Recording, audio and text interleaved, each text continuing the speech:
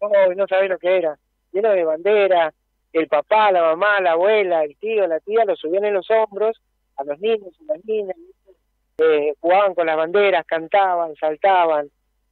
Lo mejor de todo también ha sido que no hemos tenido ningún tipo de inconvenientes, ¿no?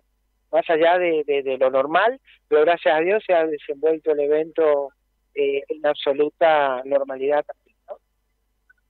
Se está tratando la ley de lemas, y bueno, queremos saber su, opinión. Mire, yo soy producto de una paso, obviamente que eh, no con profundidad lo que es la ley, Hoy a las 11 de la mañana tenemos una reunión con el ministro de Gobierno.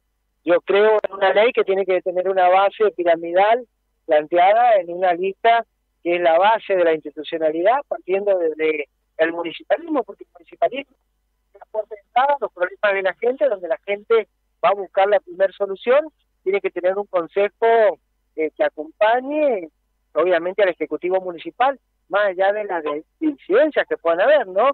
pero tiene que tener gente que, que, que responda a lo que tiene que ver eh, la problemática de la gente en una línea, en mi caso, yo creo en lista en, lista única, no en el sistema DON de repartición o, o, compartir lo que tiene que ver eh, el tema del Consejo Liberante. ¿no? Yo creo que quien eh, la, la, gente elija debe ir con lista completa, ¿no?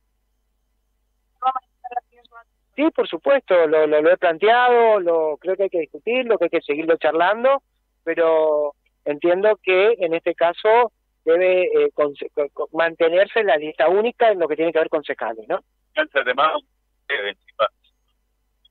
Fuerte, ¿no? Sí, la verdad que sí, y es un tema bastante preocupante, pero bueno, es muy bueno que suceda esto en la mañana de hoy, que se pueda trabajar en conjunto con el gobierno de la provincia, y me parece que eh, trabajar post pandemia en estos temas es más que importante, ¿no? Porque tiene que ver con la salud, en este caso, de, muchas mujeres, ¿no?